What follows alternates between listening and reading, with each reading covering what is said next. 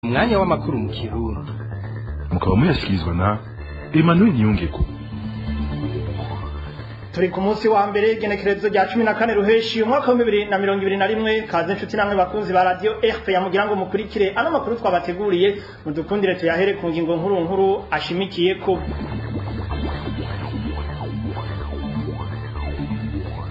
hari umurundi yatewe ikiziga kuri wa gatandatu mu ikambi yandutsa mu gihugu ca Tanzania amakuru ava muri iyo kambi akavuga ko umuhisi yari yasohotse ikambi agiye gusuma mu nyuma ariko guca uburundi bwaba bworohereza abakora bakongera bakadandaza ibiyayuramutwe bisanzwe bibujijwe ku isi ibyo bikaba bibonekera mu nzandiko zitandukanye z'ikigo mpuzamakungu kijejwe kurwanya mwene ivyo biyayuramutwe navyo nyene twabibateguriye mw'ibaro rikuru rya gitega havugwa ubukene bw'amazi meza abafungwa bagatinya ko bashobora kwandura indwara zifatiye ku isuku rike mu mpera z'ano makuru guhera kuri uyu wa mbere uruganda rwa radiyo rpa ruratangura kubashikiriza ibyaranze umwaka wa mbere uheze w'intwaro ya perezida perezida Evariste Ndayishimiye tukaza guhera ku bijyanye n'imigenderanire mu kanya ido n'ido by'ano makuru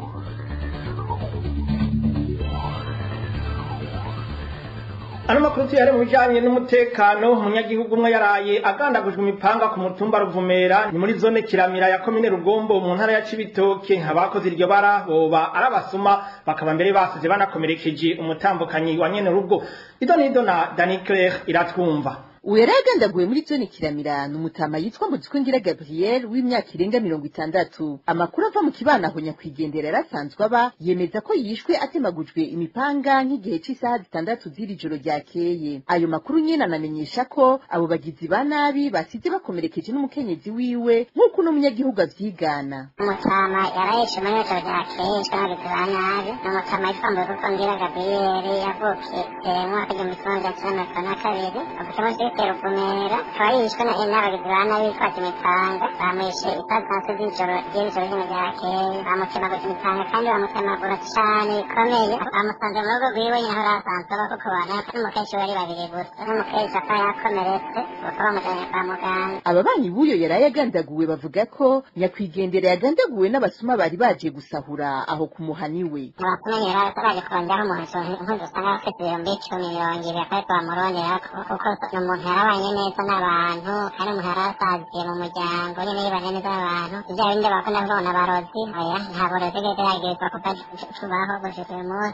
nak roti kita lagi bapak, nak roti naik terus Isoko ryacu aho muri komine Rugombo rimenyesha ko mu nyuma igipolisi cahavuye gitangura gukora amatohoza gihereye ku mutambukanyi asigwa n'uyo yarayagandaguwe tubamenyeshe ko kuri uyu wa Mungu nyene hari uwundi muntu yatowe ari kiziga muri komine Mugwi aho nyine mu ntara ya cy'ibitoki kuri ubwo bwicanyi burangwa muri iyo ntara uruganda rwa rpa rwarondeye gilbert manirakiza musitanteri wa komine rugombo ariko telefoni iwe yahamagara hakabura uwitaba turondeye karemi bizoza buramatari w'intara ya cibitoki yatubwiye ko atamakuru atangira kuri telefoni danikire iratwumva urakenuye abantu babiri nibo uruganda rwa rpa rwashoboye kumenya ko bagandaguwe muri iyi ndwi twaraye dusozereye uwa mbere n'uwitwa claude nzi nziko banyanka yatowe ikiziga mu murima w'ibitoke ku mutumba mushanga muri komine mugwi intara ya cibitoke mu gitondo cyo kuri uyu wa mungu Claude Nziko banyanka akaba yari amaze iminsi ibiri yarabuzwe irengero icyo yahowe nticigeze kimenyekana abantu bane baciye bafatwa n'igipolisi ku kumvo z'amatohoza uwa kabiri ni umusore yitwa Breze Hatungimana yishwe acumiswe imbugita ni muri quartier Kajiji zone Kanyosha mu gisagara cya Bujumbura kuwa gatanu heze ico yahowe nawe nyene nticigeze kimenyekana tukivuga amakuru ajyanye n'umutekano muke hari ikiziga cyatowe kuri uyu wa gatandatu muri zone cumi na gatatu mu ikambi ya nduta iri mu gihugu cya tanzania uwo yishwe yari impunzi y'umurundi yari yasohotse ikambi ajya gusoma ido na erike niyo nzima ikiziga cyo mu nzi cyatewe ku mugoroba kuri wa gatandatu hafi ya hari umwonga uwo yishwe yaba muri zone y'icenda viraje ya cumi mu ikambi ya nduta amakuru dukura muri iyo kambi ya nduta avuga ko yari yasohotse ikambi ajya kurema isoko yahitwa kibondo ayo makuru nyene amenyesha kandi ko hafi y'ahatowe ico kiziga harihiriwe abapolisi ba Tanzania mbere hakaba harumvikanye n'amasasu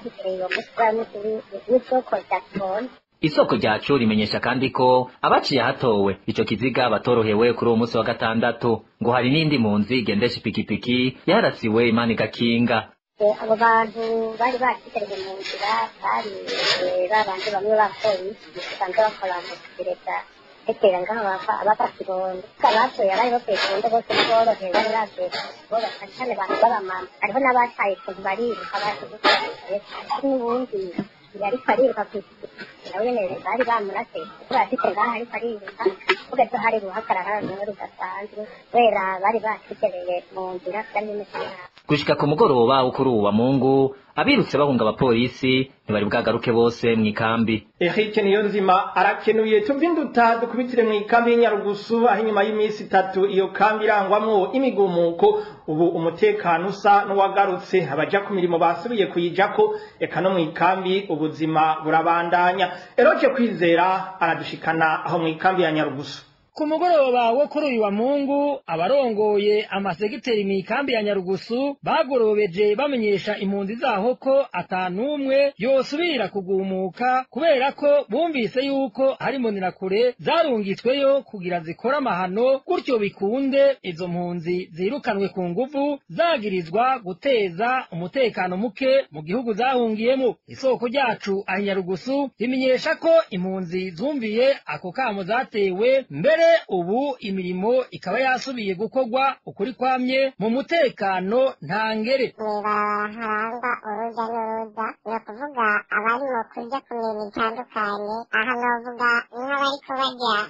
kurima hanze y'inkambi imirimo z'amabuye cyane atandukanye urabajya gusenya n'amakinga urabagenda n'amaguru bose ni ukuvuga ngo n'abanyeshure aha bari kwitegura kugira ngo bahave bagana ku masomo muri rusange ibintu bimeze neza nta cyahindutse na kimwe ariko naho biri uko impunzi zo muri iyo kambi zivuga ko gushika ubu zifata ko atandongozi zifise kuko uwo bahatiwe ko ku nguvu atamwemera izo mpunzi ubu zikaba ziriko zisaba abajejwe umutekano abo muri iyo kambi kwemera gucungera birushije umutekano w'uwo zivuga ko zahunze amajwi mu matora aheruka kugira asubire kugaruka mu gwiwe kuko gushika ubu akirara rubunda ku gutinya umutekano wiwe tukiri aho nyene mu gihugu cya Tanzania abarundi barenga amajana atanu barafashwe n'igipolisi cya Tanzania kijejwe uruja n'uruza mu kiringo cy’iminsi cumi ya mbere ya kuno kwezi kwa ruheshi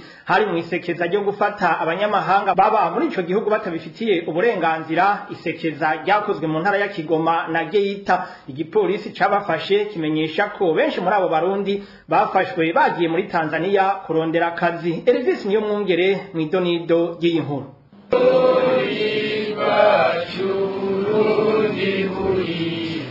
Shingi chumu abo ni bamwe mu barundi bafashwe mu gihugu cya tanzania bariko bararirimba indirimbo yahayagize igihugu cyabo abarenga amajana nibo bamaze gufatwa mu ntara ya kigoma mu kiringo cy'iminsi icumi igipolisi kimaze guhiga abantu baba muri iyo ntara batabifitiye uruhusha komiseri amiru salimu icegera c'uwujejwe uruja n'uruza muri iyo ntara avuga ko muri abo barundi bafashwe hariho abamaze gushengezwa jumla yao raia wa burundi ni mia nne themanini na nane Abarundi bose bafashwe muri iri sekeza twakoze ni majana ane na mirongo umunani n'umunani bose hari ingingo bafatiwe muri bo harimo abashengejwe mu butungane abandi bashyikirizwa ishyirahamwe hcr abandi barahabwa uruhusha rwo kuba hano ariko hari n'abandi bakiriko baragirirwa ko amatohoza uchunguzi no mu ntara ya geyita harafashwe abarundi mirongo itandatu na batatu mu kiringo c'indwi imwe nk'uko komiseri emmanuel christopher icegera c'uwujejwe uruta muri iyo ntara abivuga uwo mutegetsi amenyesha ko abo barundi bose ata afise impapuro zimwemerera kuba cyangwa gukorera ku butaka bwa tanzania wengi wao hawa wamekuja kwa ajili lakini hawakufata taratibu Benshi muri bo baje hano kurondera uko babaho ikibazo nuko batakurikije amategeko agenga abanyamahanga bamwe muri bo bagiye bafatirwa mu mirima abandi bafatirwa mu gisagara bariko bakora umwuga wo gutwara abantu n'amakinga ico ni uko abo bantu batizana hariho abatanzaniya ko nashaka nsabe iyo baje abo banyamahanga bakurikiza amategeko baronke impusha zo kuba hano mu ntara atakibazo bareke kuguma binyegeje mu buryo butemewe n'amategeko muri iryo segeza ryo gufata abanyamahanga hafashwemo abarundi hamwe n'abandi banyamahanga batandukanye batagira uruhushya rwo kuba aho muri tanzania mu ntara Kigoma mu banyamahanga abajana na mirongo irindwi bafashwe harimo abarundi amajana na mirongo umunani n'umunani nayo mu ntara ya Geita mu banyamahanga mirongo itandatu na bane bafashwe umwe gusa niwe atari umurundi mu kanya igisata c'imigenderanire hamwe n'intwari ibereye erupeya eh, hari abakozi bo mu buserukizi bw'uburundi mu gihugu cya afurika y'epfo bagiye kwirukanwa muri icyo gihugu abo bakozi baba bazira kunyuruza amatagisi y'icyo gihugu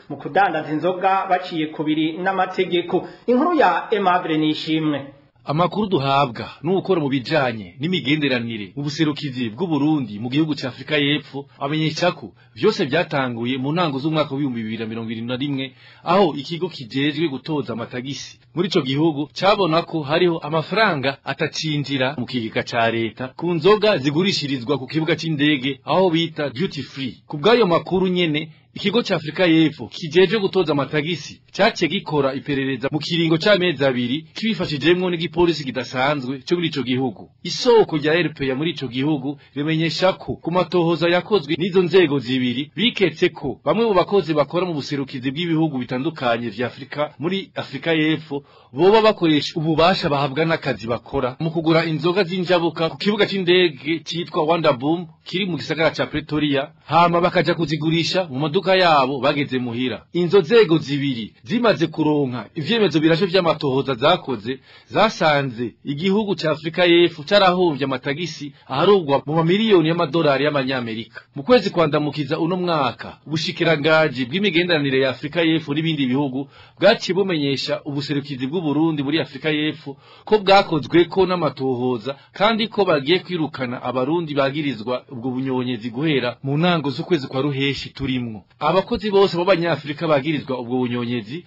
bakora umusirutizi bw'ibihugu byabo bose hamwe ni abiri bakaba baturuka mu bihugu bya Guinea Conakry Ghana Lesotho Malawi u Rwanda n'Uburundi aba mbere bakaba batanguye kurungikwa iwabo kuri wa mbere igerekezo rya 14 ruheshi 2021 mu gisata c'intwari bereye Burundi burakekwa kuba bworohereza abakora ibiyayura mutwe bikomakomeye bibujijwe isi ibyo bigaragarira mu nzandiko zitandukanye z'ikigo mpuzamakungu kijejwe gutuza ibiyayura mutwe mbere hakaba hari n'abakozi bo mu bushikiranganje bw'amagara y'abantu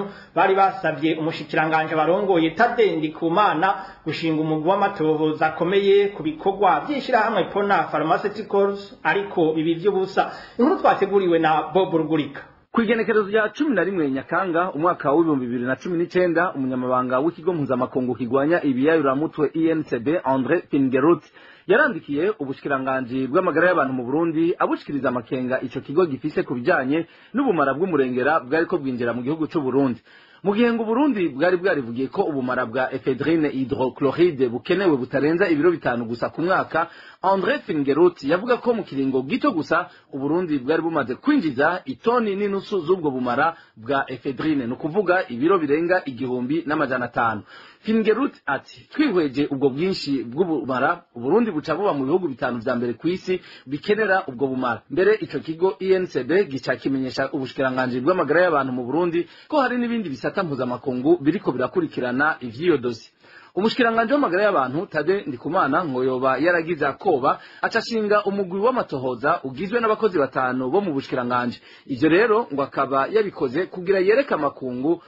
ko leta y'uburundi iriko ibikorako amatohoza uwo mugwi wari ugizwe na emmanuel bamenyekanye nyabenda bonaventure barayandema rafael nimubona israel na niyo nkuru pascaline baragerageje gukora naho bigaragara mu nyandiko zabo ko bataronse ububasha bwo gutohoza by'ukuri mu ncamake uwo mugwi warerekanye amakenga ufise ku bikorwa vy'ishirahamwe pona pharmaceuticals kuko basanze ngo nko mu mpusha zimwe zimwe bahawe harabaye kwigana imikono imwe imwe y'abategetsi no kutabona kubona neza ubwo bumara iyo bwagiye n'icyo bwategerezwa gukora uwo mugwi waciye usaba amatohoza yimbitse ibyo nabyo umushikiranganji w'amagara y'abantu tadendi kumana ntabyo yahavuye akora amakuru twaronse ni amakungu yabandanije abaza iby'iyo dosi ibyo ngo akaba aribyo byatumye leta y'uburundi ifata ingingo yo gufunga umugwizatunga prosper hakizimana batazira gisiga yakora iby'ubwo rudandazwa rw'ibiyayuramutwe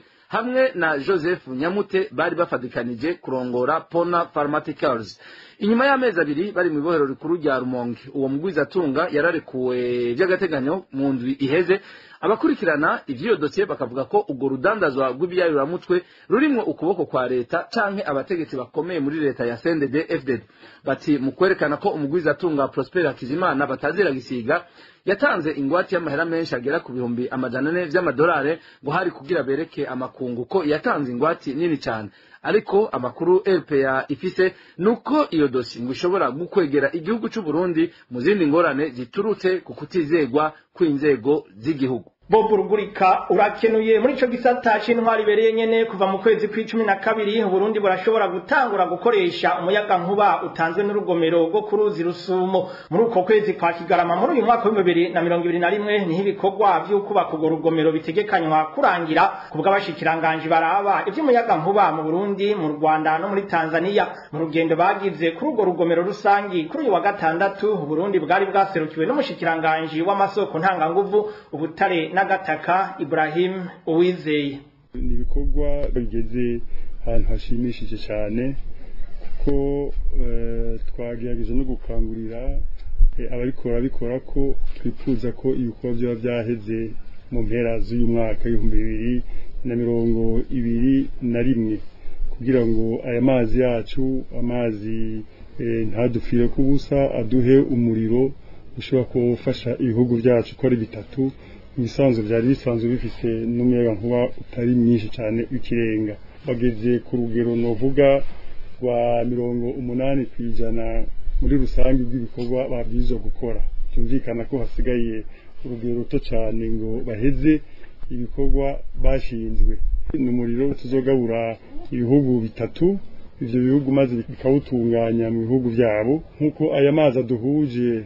ahurira ngaha muri rusumo hariho kagera hariho ruvubu hanyuma ikazoduha megawate mirongo umunani tuzogaburamo gatatu igihugu gatwara hafi mirongo ine na gatandatu n'igice mirongo ine na gatandatu n'igice gutyo byo kubandanya umushyikiranganje Ibrahim uwizeye yavuze kandi ko uko hazoza haraboneka amasoko mashasha y'umuyaga nkuba ariko Burundi buzogenda buraheba gukoresha imoteri zitanga umuyaga nkuba bita centrale thermique mu rurimi rw'ikinyamazuru imbere y'uko batumirira amate turababwira ino nkuru iciye ku masonga ivugwa mu butungane aho shehe Hashide Ndikumana wo ku musigiti wo muri zone ubutane buterereye mu gisagara cya bujumbura yidegembya kuva kuri uyu wa mbere ni nyuma y'iminsi itandatu yari amaze apfungiwe mu gipolisi cy'inyamiramabi kiri muri zone bwiza kwijabe yagirizwa kwifatira mu gahanga umushikiranganje w'umutekano n'intwaro yo hagati mu gihugu Jeruve Ndirakobuca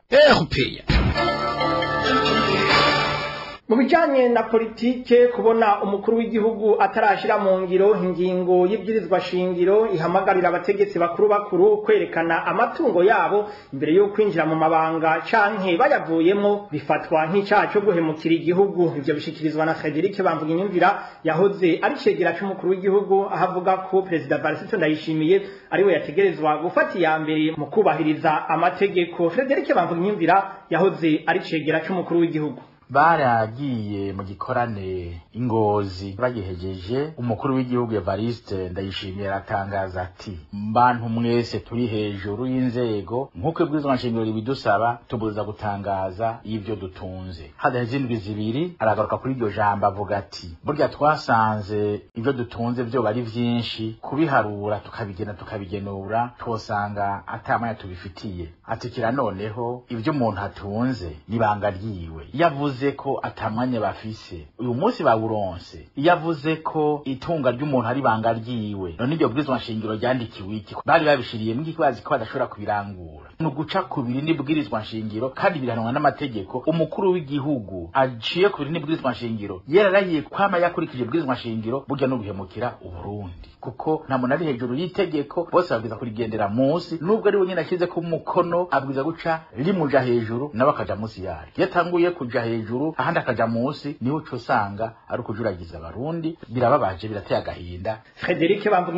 avuga kandi ko ibihushane biri mu nsiguro zatanzwe na varisito ndayishimiye yashimiye bijuragiza abarundi akamuhamagarira nyabona kudahungabana mu byo ashikiriza n'ubu Frederic bamvuga inyumvira ku itariki icyenda z'uku kwezi mu nama shikiranganje iki kibazo barakigarutse ko wumvirije umuvugizi wa leta Prosper Ntawugwamiye aravuga neza ati ubu rero bagiye kwemeza ibyo batunze ubwo bwandiko barushikirize sentare ntayinyuzwa ngo kubera ko ngo impapuro byasaba ngo baramaze kuzironka jewe nkatangazwa n'izo nsiguro zibiri zidasa ubwa mbere ntibigeze bavuga ko ari ukubera inkaratasi zari zabuze muri sentare ntayinyuzwa bavuze ko ari ukubera ko ibyo umuntu atunze ari banga ryiwe kandi ko ibyo batunze batobidondagura ngo bashobore kubiheza ibyo batwara umwanya none uyu munsi iyo nsiguro ya mbere n'insiguro ya kabiri bihuriye hehe niho duca dusanga rero yuko uku kujuragiza abarundi ari byo birusha abantu turasaba umukuru w'igihugu avuge ega ari oya avuge oya ariko ntaze arajuragirika hagati ya yego na oya kuko urumva ko bitesha umutwe abarundi uyu munsi izo nkaratasi ko zaje wumva ko izo nkaratasi arico cyari gituma habe namba jewe nkuramo yuko vy'ukuri babatitiririje bikabagora nafate inzira neza ashyira umutima mu nda yereka abarundi iyo baja kuko vy'ukuri uburundi bugeze ahatemba tubamenyeshe ko mu bihugu byitabiriye inama idasanzwe yatunganijwe n'ishyirahamwe mpuzamakungu oni ku magenekerezo ya kabiri na kane ruheshi uyu mwaka uburundi buri mu bihugu bike bifise abategetsi batarerekana amatungo yabo itangazo ryashize ahabona ibyapfunditswe muri iyo nama rikaba ritegeka ahanini leta y'uburundi gushyiraho inzego zigenga zijejwe kurwanya igiturire mu gisata cy'amagara y'abantu ingingo yo gusuzuma abantu bavuye hanze y'igihugu mu minsi ine kugira barabe ko badafise umugera wa covid cumi n'icyenda yahagaritswe kuva kuri uyu wa mbere n'umugwi w'igihugu ujejwe kurwanya icyo kiza mu burundi jeruvendi rakobuca umushikiranganji w'intara hagati mu gihugu n'umutekano akaba ari we arongoye uwo mugwi yamenyesheje ko iyo ngingo iraba gusa ingenzi zica ku kibuga cy’indege mpuzamakungu citiriwe merikiyo hondadaye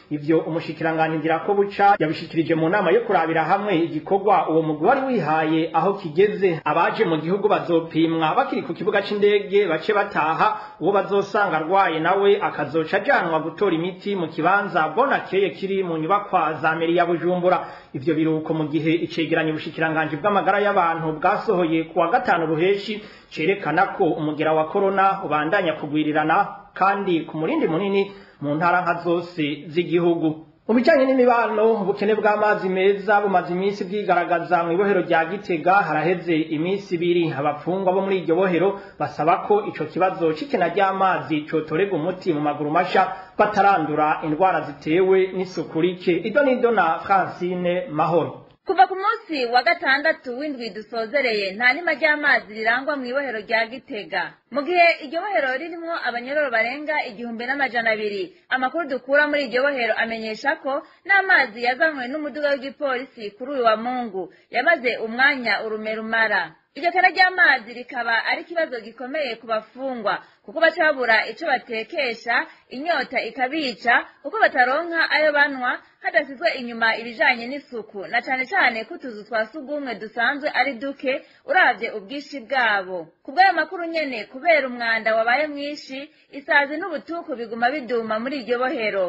bamwe mu banyororo bafise uburyo bwo kugura amazi hanze bakaba bagura ibido imwe ku mafaranga amajana atanu canke igihumbi ayo nayo akaba adaheza ngo abakwire kuko baca kuyasabikanya n'abandi ayo makuru amenyesha kandi ko abanyororo bari muri iryo bohero rya gitega kugeza ubu bataramenyeshwa imvu zatumye amazi atakiboneka bagasaba ko icyo kibazo c'ikena ry'amazi cotorerwa umuti n'ingoga batarandura indwara ziva kw'isuku rike Francine Mahoro urakenuye muri cyo gisata nyene c'imibano abadandaza indwi b'imikate bo mu gisagara ca Ngozi barahagaritse ingingo bari bafashe yo kuduza ibiciro by’imikate babisabwe n'intwaro imikate ikaba yari yadugirwa amahera ari hagati y'ijana n'amajana atanu iyo ngingo yo kuduza ibiciro bari bayifashe bisunze iduzwa ry'ibikoresho bikora imikate nk'ifarini amavuta ubumwanya hamwe n'ikena ry'isukari rimaze iminsi ryibonekeza bagasaba abajejwe intwaro kwigira hamwe icyo kibazo kugira bagitorere inyishu irama mukanya turatandukira igice cya kabiri cano makuru kibayagira ibijyanye n'ivyaranguwe na leta ya Ivarese ndayishimiye mu mwaka amaze ku butegetsi uyu munsi tugahera ku bijyanye n'imigenderanire eh kuva umukuru w'igihugu Evariste Ndayishimiye agiye ku butegetsi kwa 18 ruheshi umwaka wa ibiri leta y'u Burundi yaragerageje kuraba ko honaguka imigenderanire n'ibindi bihugu na cyane cyane umuryango ubumwe bwa Buraya hari nawo wari usanzwe utanga imfashanyo zitari nke ku Burundi iyo leta yaranerekanye kandi ko yifuza ko hoba imigenderanire myiza hagati yayo n'ibihugu bya kano karere harimo n'igihugu cy'u Rwanda bitarabana ryiza kuva aho Petero nziza yihagiye ikiringo cya gatatu mu mwaka w'ibihumbi na cumi na gatanu bikuru bikuru mu byaranze imigenderanire y'uburundi n'amakungu muri uyu mwaka evariste ndayishimiye amaze ku butegetsi tubibwirwa na onezime dushimagize uko kugerageza kunagura imigenderanire n'amakungu k'ubutegetsi bwa evariste ndayishimiye kubonekera ahanini mu rugendo umushikiranganji w'uburundi ajejwe imigenderanire n'amakungu ambasaderi albert nshingiro yageze mu bihugu bimwe bimwe vya buraya mu mpera z'ukwezi kwa kane n'umwaka rukaba rwabaye urugendo rwa mbere rukozwe n'ubuserukira leta y'uburundi muri ivyo bihugu bya buraya hari haciye imyaka itanu leta ya evariste ndayishimiye yagageje kandi kuraba ko usubiraho imigenderanire myiza n'ibihugu vya kano karere harimo n'igihugu cy’u rwanda bitarabana byiza kuva mu bihumbi bibiri na cumi na gatanu mu kugerageza kunagura iyo migenderanire haratunganijwe inama zitandukanye hagati y'abarongoye inzego za gisirikare z'ivyo bihugu n'abashikiranganji b'ivyo bihugu bajejwe imigenderanire n'amakungu muri iyo ntumbero nyene eva hahise ndayishimiye amaze kugendera ibihugu inzu vya afurika muri kino kiringo cy’umwaka amaze ku butegetsi ni mu gihugu yasubiriye umuhizi petero nkuru nziza yagendeye igihugu kimwe gusa mu kiringo c'imyaka itanu ya nyuma ari ku butegetsi igihugu ca kenya nico evariste ndayishimiye aheruka kugendera muri urwo rugendo kabaye akarya ko kuganira na mugenzi we uhuru kenyatta ku migambi uranguriye hamwe ijyanye n'iterambere n'umutekano mu karere utwo twigoro twaretaba ese ndayishimiye nitwo twatumye amakungu cyane cyane ibihugu bya buraya bikura Burundi ku rutonde rw'ibihugu byigwa buri gihe n'inama y'umutekano y'ishyirahamwe impuzamakunguni iryo shyirahamwe ryamenyesheje ko umutekano watewe wiyongera mu burundi ko n'amatora yo mu bihumbi bibiri na mirongo ibiri yabaye mu ituze ngo ibyerekana ko habayeho akarusho iryo shyirahamwe ryaboneyeho gusaba leta y’u Burundi gutunganya ibikorwa byo kunywanisha abarundi gutunganya neza ibijyanye na demokarasi n'intwari ibereye umuryango w'ibihugu bya afurika union africaine waboneyeho nawo nyine gukura uburundi ku rutonde rw'ibihugu nabyo nyine byigwa buri gihe n'inama y'umutekano y'uwo muryango aho wagiriye ko mbere guhagarika igikorwa cy'abarorezi bawo mu burundi mu bijyanye n'agateka ka muntu n'ibya gisirikare